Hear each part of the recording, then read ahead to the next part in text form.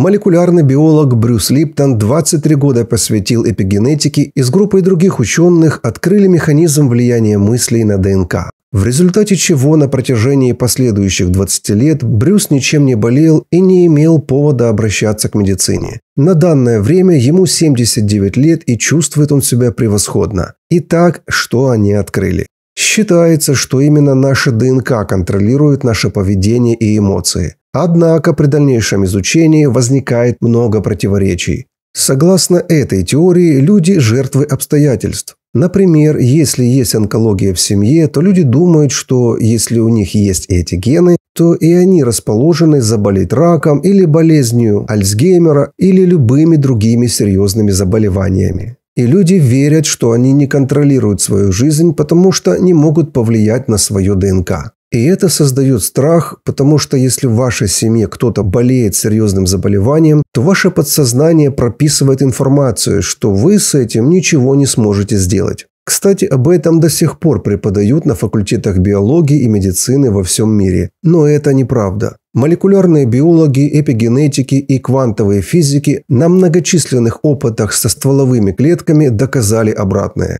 Когда человек смотрит в зеркало, он думает, что видит одно существо. На самом деле это иллюзия, потому что человеческое тело состоит примерно из 50 триллионов клеток, каждая из которых имеет свою индивидуальность. И в этом смысле человеческое тело – это сообщество 50 триллионов клеток. При этом каждый день миллиарды клеток умирают в результате естественного старения, повреждений и много чего другого. Мы теряем сотни миллиардов клеток каждый день. И возникает логичный вопрос, если я каждый день теряю столько клеток, как долго я могу сохранить жизнь? И ответ весьма интересен. Вместе с тем, что мы теряем миллиарды клеток, взамен появляются новые миллиарды. И этот процесс протекает без остановки ежесекундно. Прямо сейчас, когда вы слушаете меня, миллионы старых клеток погибли, а на их месте образовались миллионы новых. Этот процесс осуществляется благодаря стволовым, а если точнее эмбриональным клеткам.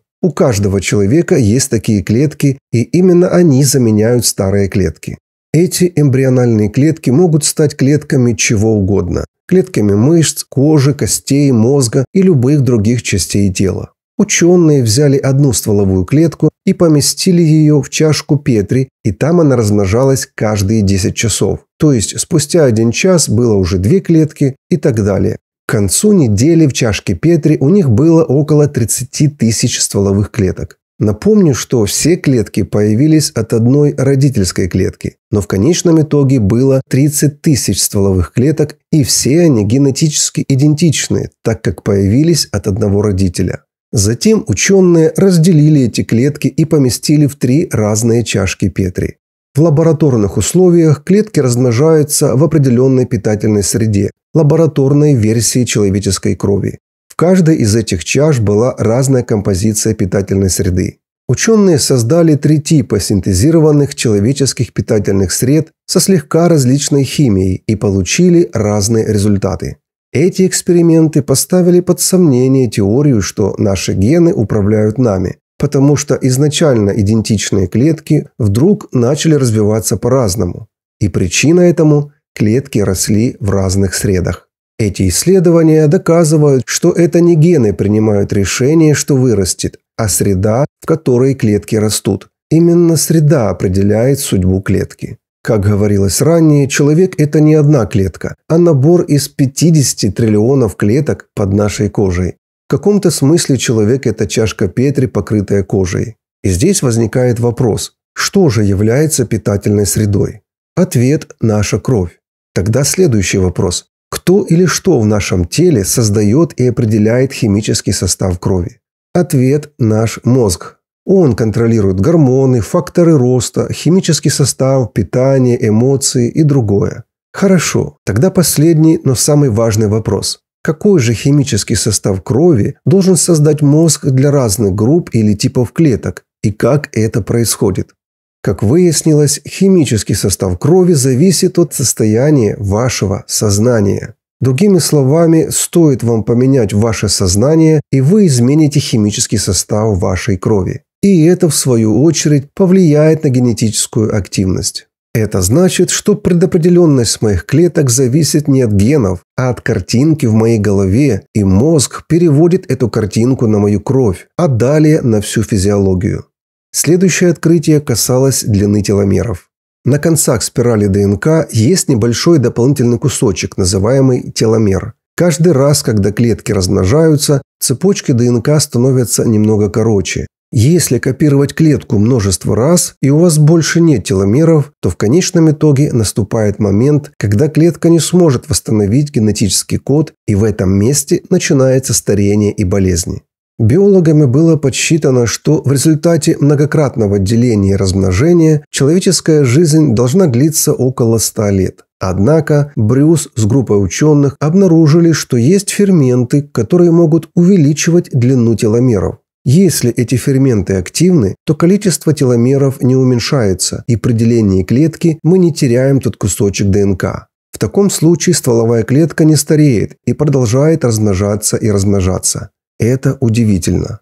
Фермент, который отвечает за сохранение длины теломеров, называется теломераза и включается только при определенных внешних условиях. Например, если вы здоровые, счастливые, радостные, теломераза работает, и вы можете прожить дольше. Но если вы пребываете в стрессе, в ваш мозг поступает информация, что у вас большие проблемы в жизни, и теломераза перестает работать, а ваша жизнь сокращается. Но если вы пребываете в счастье, радости и гармонии, вы можете прожить 150 лет и более. Кстати, если вас интересует информация, как можно получить терамеразу извне, оставляйте комментарии, мы сделаем отдельное видео. Хорошо, возникает вопрос, почему мы тогда умираем такими молодыми? Ответ – потому что подсознание нам говорит, что мы больны, слабы, несчастны, нас никто не любит, мы в постоянном стрессе, жизнь сложна, еда отравлена, будущее неизвестно, и, как следствие, сокращаются теломеры, мы стареем и умираем. Секрет долгой жизни прост. Будь счастлив и наслаждайся своей жизнью. Однако на деле это не так просто. Основная проблема кроется в подсознании. Согласно исследованиям, сознательный ум контролирует и управляет только 5% нашей жизни. Только 5% времени сознание управляет нашим поведением, настроением, характером, желаниями, предпочтениями и мечтами, а 95% управляет подсознание. Когда сознание занято процессом мышления, подсознание берет контроль над всем в свои руки. И тут проблема. То, как подсознание управляет нашей жизнью, было запрограммировано нашими родителями и ближайшим окружением еще в детстве до 7 лет. На основе исследований ученых было подсчитано, что 70% этих установок подрывают уверенность в себе и саботируют счастливую и радостную жизнь. То есть, если 70% установок в подсознании негативная и деструктивная информация, вы можете представить, куда мы движемся. 95% времени наша жизнь управляется подсознанием, и, скорее всего, в 70% случаев она катится в пропасть. Но не все так печально. Снова возвращаемся к открытию молекулярных биологов.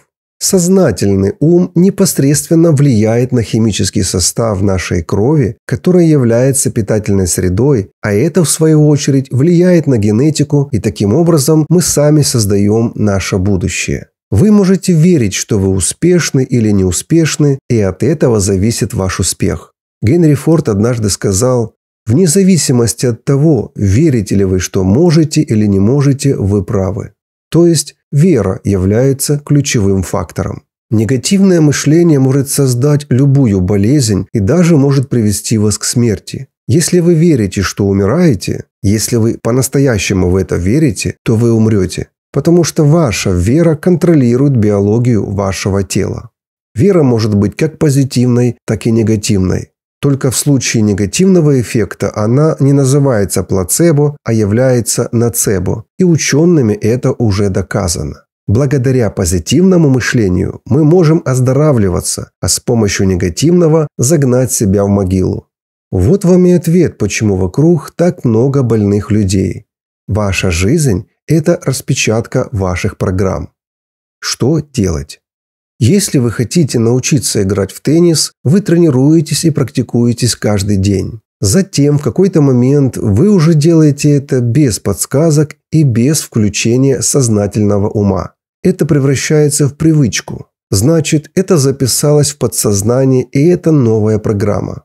Если вы хотите записать новую модель, вы должны вести себя так, как будто это уже правда, и делать так много раз, пока она не станет привычкой. Допустим, ты несчастный человек, и что же в таком случае делать? В любой свободный момент времени нужно говорить «я счастлив», «я счастлив», «я счастлив». И делать так нужно каждый день. Так вы путем многократного повторения записываете новое в свое подсознание. Да, выглядит как будто вы притворяетесь, но через повторение вы превращаете это в привычку. И чем больше вы повторяете, тем быстрее наступит такой момент, когда количество перейдет в качество. И вам больше не нужно будет повторять, что вы счастливы, потому что вы по-настоящему будете счастливы. Как только новая программа будет установлена, уже не требуется никаких усилий и вам даже не нужно об этом думать. Программа будет работать автоматически, и она является частью тех 95% времени, когда подсознание управляет вашей жизнью. Итак, жизнь – это распечатка ваших программ. Давайте же изменим плохие программы на хорошие. А что вы думаете об этих открытиях ученых? Не стесняйтесь оставить комментарии.